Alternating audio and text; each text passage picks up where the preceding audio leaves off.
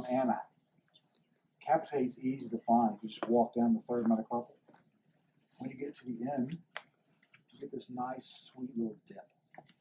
And that's where capitate lives, right there. So on this particular lesion, the capitate is sitting dorsally. So we're gonna come in, walk down the metacarpal, put our thumbs on the capitate. There. On the palmar side, we're gonna support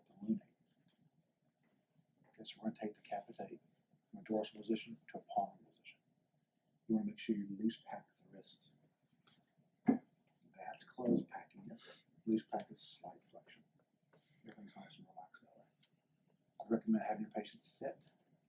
You balance yourself real well. Keep your hands close to you. Control your amplitude.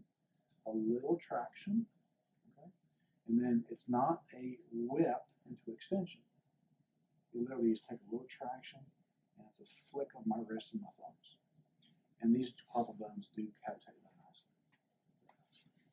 She actually needs the opposite manipulation because her capitate's in palm, but we'll do it anyway. A little traction, pre-minute hold,